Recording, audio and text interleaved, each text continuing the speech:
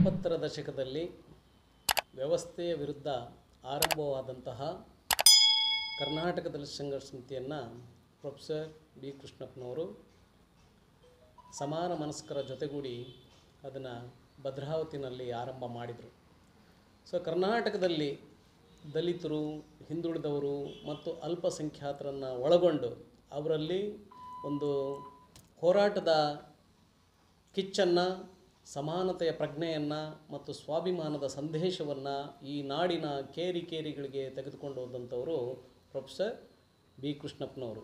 So ಇಂತಹ ಕರ್ನಾಟಕದಲ್ಲಿ ಸಂಘರ್ಷ ಸಮಿತಿಯನ್ನು ಹತ್ತೊಂಬತ್ತು ನೂರ ಎಪ್ಪತ್ತ್ನಾಲ್ಕರಲ್ಲಿ ಶಿವಮೊಗ್ಗದ ಜಿಲ್ಲಾ ನೋಂದಣಾಧಿಕಾರಿಗಳ ಕಚೇರಿಯಲ್ಲಿ ಅವರು ನೋಂದಾಯಿಸ್ತಾರೆ ಮತ್ತು ಅಂದಿನಿಂದ ಲೆಕ್ಕಪತ್ರಗಳನ್ನು, ವಾರ್ಷಿಕ ಲೆಕ್ಕಪತ್ರಗಳನ್ನು ಮತ್ತು ಪದಾಧಿಕಾರಿಗಳ ಪಟ್ಟಿಯನ್ನು ಕೊಡ್ತಾ ಅವರು ನವೀಕರಣ ಮಾಡಿಸ್ತಾ ಬರ್ತಾರೆ.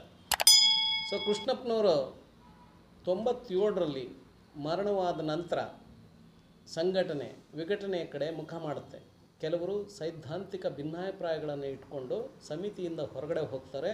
ಸಮಿತಿಯಿಂದ ಹೊರಗಡೆ ಹೋಗಿರ್ತಕ್ಕಂಥ ಎಲ್ಲ ಗೆಳೆಯರು ಕೂಡ ಕರ್ನಾಟಕ ದಲಿತ ಸಮಿತಿ ಪ್ರೊಫೆಸರ್ ಬಿ ಕೃಷ್ಣಪ್ಪ ಸ್ಥಾಪಿತ ರಿಜಿಸ್ಟರ್ ನಂಬರ್ ನಲವತ್ತೇಳು ಬಾರಿ ಎಪ್ಪತ್ನಾಲ್ಕು, ಎಪ್ಪತ್ತೈದು ಅಂತಲೇ ಅವರು ಬಳಸ್ತಾ ಹೋಗ್ತಾರೆ.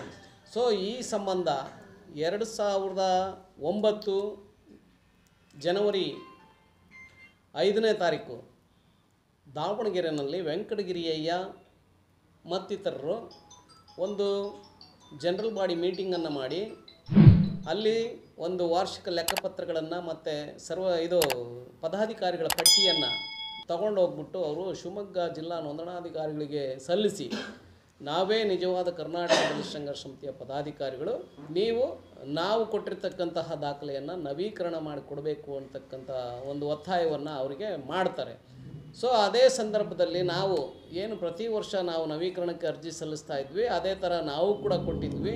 ಸೊ ಈ ಎರಡೂ ಅರ್ಜಿಗಳು ನೋಡಿದಂತಹ ಅಧಿಕಾರಿಗಳು ಗೊಂದಲಕ್ಕೀಡಾಗಿ, ನೀವು ಯಾರು ನ್ಯಾಯಾಲಯಕ್ಕೆ ಹೋಗಿ ನ್ಯಾಯಾಲಯದಿಂದ ಆದೇಶವನ್ನು ತರ್ತಿರೋ ಅವರಿಗೆ ನಾವು ಸಮಿತಿಯನ್ನು ನವೀಕರಣ ಮಾಡಿ, ಕೊಡ್ತೀವಿ ಅಂತಕ್ಕಂಥ ಒಂದು ಎಂಡಾರ್ಸ್ಮೆಂಟ್ ಕೊಟ್ಟ ನಂತರದಲ್ಲಿ ಎರಡು ಸಾವಿರದ ಹನ್ನೆರಡರಲ್ಲಿ ನಾವು ಭದ್ರಾವತಿಯ ಜೆ ಎಂ ಎಫ್ ಸಿ ಕೋರ್ಟ್ನಲ್ಲಿ ನಾವು ವೆಂಕಟಗಿರಿಯಯ್ಯ ಮತ್ತಿತರರ ವಿರುದ್ಧ ನಾವು ಪ್ರಕರಣವನ್ನು ದಾಖಲು ಮಾಡ್ತೀವಿ.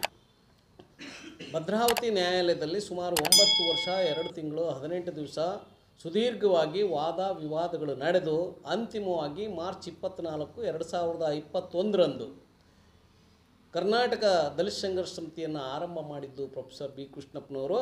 ಇದರ ವಾರಸುದಾರರು ಗುರುಮೂರ್ತಿ ಮತ್ತು ಗಿರಿಯಪ್ಪ. ಮತ್ತು ಏನು ಎರಡು ಸಾವಿರದ ಒಂಬತ್ತು ಜನವರಿ ಐದನೇ ತಾರೀಕು ದಾವಣಗೆರೆನಲ್ಲಿ ಏನು ಸರ್ವ ಸದಸ್ಯರ ಸಭೆಯನ್ನು ಮಾಡಿ ವಾರ್ಷಿಕ ಲೆಕ್ಕಪತ್ರಗಳು ಮತ್ತು ಪದಾಧಿಕಾರಿಗಳ ಪಟ್ಟಿಯನ್ನು ಜಿಲ್ಲಾ ನೋಂದಣಾಧಿಕಾರಿಗಳಿಗೆ ಅವರು ಸಲ್ಲಿಸಿದ್ರು, ವೆಂಕಟಗಿರಿ ಮತ್ತಿತರರು. ಅದು ಕಾನೂನು ಬಾಹಿರ ಮತ್ತು ಅವರಿಗೆ ಸಲ್ಲಿಸೋದಕ್ಕೆ ಯಾವುದೇ ಅಧಿಕಾರ ಇರಲಿಲ್ಲ ಅಂತಕ್ಕಂಥ ಒಂದು ಮಾತನ್ನು ಕೂಡ ಆ ತೀರ್ಪಿನ ಒಳಗಡೆ ಹೊಗಳಿದ್ದಾರೆ. ಮತ್ತು ಕರ್ನಾಟಕ ದಲಿತ ಸಂಘರ್ಷ ಸಮಿತಿಯ ಹೆಸರನ್ನಾಗಿರಲಿ ಮತ್ತು ನೋಂದಣಿ ಸಂಖ್ಯೆಯನ್ನಾಗಲಿ ಯಾರೂ ಬಳಸಬಾರ್ದು ಅಂತಕ್ಕಂತಹ ಒಂದು ಪರ್ಮನೆಂಟ್ ಇಂಜೆಕ್ಷನನ್ನು ನ್ಯಾಯಾಲಯ ಮಾರ್ಚ್ ಇಪ್ಪತ್ತ್ನಾಲ್ಕು ಎರಡು ಸಾವಿರದ ಇಪ್ಪತ್ತೊಂದರಂದು ತೀರ್ಪು ನೀಡಿದೆ. ಸೊ ಈ ತೀರ್ಪು ಹೊರಬಿದ್ದ ನಂತರ ಸಮಿತಿಯಿಂದ ಸೈದ್ಧಾಂತಿಕ ಭಿನ್ನಾಭಿಪ್ರಾಯಗಳನ್ನು ಇಟ್ಕೊಂಡು ಹೊರಗಡೆ ಹೋಗಿರ್ತಕ್ಕಂಥ ಎಲ್ಲ ಗೆಳೆಯರು ಕೂಡ ನಮ್ಮ ಜೊತೆಗೆ ಸಂಪರ್ಕವನ್ನು ಮಾಡಿ ನಾವು ನಿಮ್ಮ ಜೊತೆಗೆ ಬರ್ತೀವಿ ನಮ್ಮೆಲ್ಲ ಭಿನ್ನಾಭಿಪ್ರಾಯಗಳನ್ನು ಮರಿತೀವಿ. ಬಾಬಾ ಸಾಹೇಬ್ ಅಂಬೇಡ್ಕರ್ ಮತ್ತು ಪ್ರೊಫೆಸರ್ ಬಿ ಕೃಷ್ಣಪ್ಪನವರ ಹೋರಾಟದ ರಥವನ್ನು ನಾವು ಈ ನಾಡಿನ ಉದ್ದಕ್ಕೂ ಕೂಡ ಎಳಿತೀವಿ. ನಾವು ಬರ್ತೀವಿ ಎಲ್ಲರೂ ಒಂದಾಗೋಣ ಅಂತಕ್ಕಂತಹ ಒಂದು ಮಾತುಕತೆ ಆದ ನಂತರದಲ್ಲಿ ನಾವೆಲ್ಲರೂ ಕೂಡ ಒಟ್ಟಾಗಿ ಕಳೆದ ತಿಂಗಳು ಅಂದರೆ ನವಂಬರ್ ಹದಿನೈದನೇ ತಾರೀಕು ಶಿವಮೊಗ್ಗ ತಾಲೂಕಿನ ಗಾಜನೂರಿನಲ್ಲಿ ಎಲ್ಲ ಗೆಳೆಯರನ್ನು ಒಳಗೊಂಡು ಒಂದು ಕರ್ನಾಟಕದ ರಾಜ್ಯ ಮಟ್ಟದ ಒಂದು ದಲಿತ ಚಳುವಳಿ ಐಕ್ಯತಾ ಸಮಾವೇಶವನ್ನು ಅಲ್ಲಿ ಮಾಡಿ ನಾವೆಲ್ಲರೂ ಕೂಡ ಒಂದಾಗಿದ್ದೀವಿ ಅಂತಕ್ಕಂಥ ಒಂದು ಸಂದೇಶವನ್ನು ಈ ನಾಡಿಗೆ ನಾವು ತಲುಪಿಸಿದ್ವಿ. ಮುಂದುವರೆದು ನಾವೇನು ಮಾಡ್ತಾ ಇದ್ವಿ ಅಂತ ಹೇಳಿದ್ರೆ ಎರಡು ಸಾವಿರದ ಇಪ್ಪತ್ತೆರಡು ಜನ ಫೆಬ್ರವರಿ ಹದಿನೈದು ಮತ್ತು ಹದಿನಾರನೇ ತಾರೀಕು ದಾವಣಗೆರೆಯ ಶಾಮನೂರು ಶಿವಶಂಕರಪ್ಪ ಮತ್ತು ಪಾರ್ವತಮ್ಮ ಕಲ್ಯಾಣ ಮಂದಿರದಲ್ಲಿ ರಾಜ್ಯ ಮಟ್ಟದ ಒಂದು ಸರ್ವ ಸದಸ್ಯರ ಸಭೆಯನ್ನು ಕರೆದು ಅಲ್ಲಿ ನೂತನವಾಗಿ ರಾಜ್ಯ ಸಮಿತಿಯನ್ನು ನಾವು ಅಲ್ಲಿ ರಚನೆ ಮಾಡ್ತೀವಿ ಅಂತಕ್ಕಂಥ ಒಂದು ಸಂದೇಶವನ್ನು ನಾವು ಈ ನಾಡಿಗೆ ತಲುಪಿಸ್ತಾ ಇದ್ದೀವಿ.